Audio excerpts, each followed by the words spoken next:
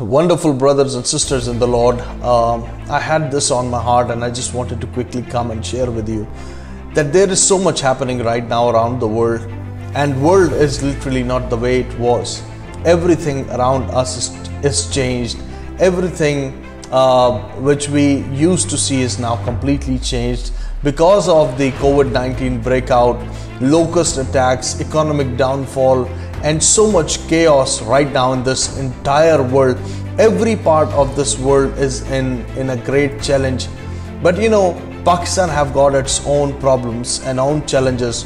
There is one of the reasons that Pakistan is called the third world country is that people do not have the way out to fulfill the need of hunger, to fulfill hunger, to fulfill uh, the need at this point of time, especially when you know things have gone extremely bad for the locals living in this nation. Our ministry has been very focused about bringing the good news of Jesus Christ to the people across the globe through media, through television, through our outreach programs, training programs, and all other things we are doing.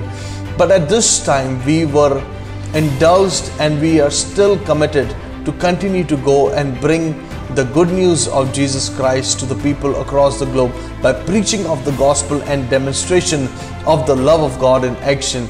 We are still going to the slums, villages, cities, uh, roads, and streets to distribute food to those people who are in great challenge and they are hungry at this time.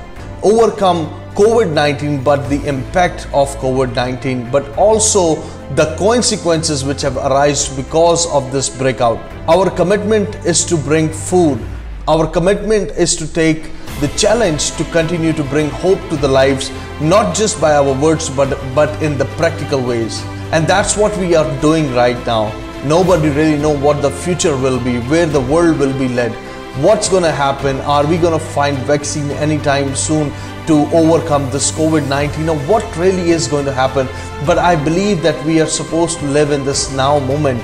Now is the time for us to make the difference in this world. Now is the time for us to really communicate the gospel and make the god's love visible to this dying world as we always say that jesus is the only hope of this dying world so shall we present it not just by our words but by our actions and we are taking this opportunity to continue uh, our food relief campaigns, flood relief campaigns, to continue to bring hope to those suffering and vulnerable lives who need the answer to their questions. There is one thing which people have on their hearts that who is the Messiah who is going to come for them at this time. My friends, Messiah is here. His name is Jesus Christ, and we are his ambassadors.